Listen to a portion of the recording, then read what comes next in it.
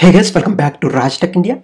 Today in this video, I'm going to tell you how to cancel or pause your SIP in Axis Mutual Fund website.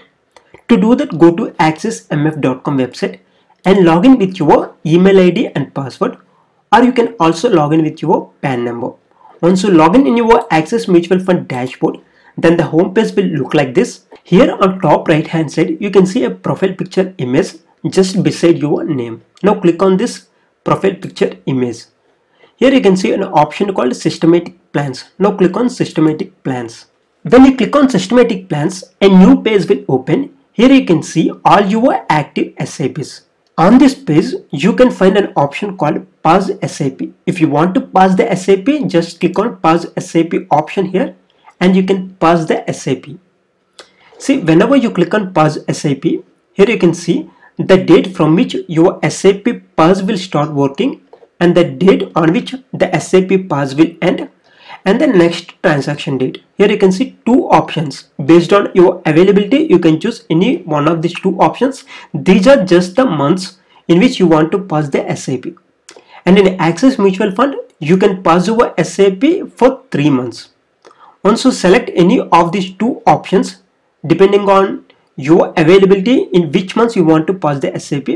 Once you choose any of these two options, then click on confirm option here. Here I'm not pausing the SIP, I'm just showing it to you. Once you click on confirm, then your SIP pass will start working and no amount will be deducted from your bank account. But what if you want to cancel the SIP? In that case, click on this box. You can click on anywhere on this box.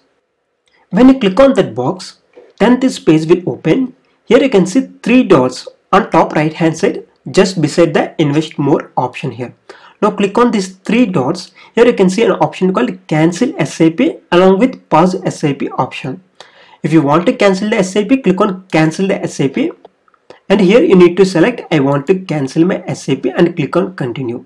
By clicking on continue, your SIP will be cancelled and next month onwards no SIP amount will be deducted from your bank account and whatever the amounts you have invested in that particular mutual fund will be stayed in that mutual fund only. And you will get the interest if you have invested in debt mutual funds. And if you have invested in equity mutual funds if the stocks value increase then the mutual fund amount will also increase.